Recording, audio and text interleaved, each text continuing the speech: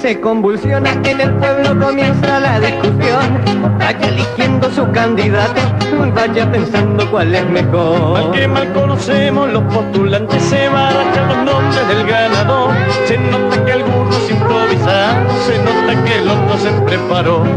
Pasan los días y el comentario cambia de nombre y de color. Todos quieren que gane su candidato y si reparte la torta mucho.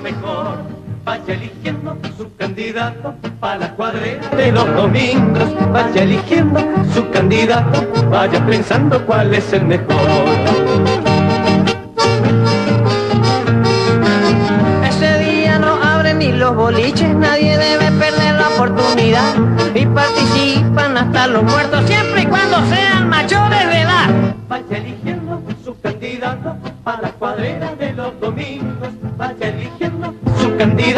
vaya pensando cuál es el mejor. Cuac, cuac, cuac, cuac,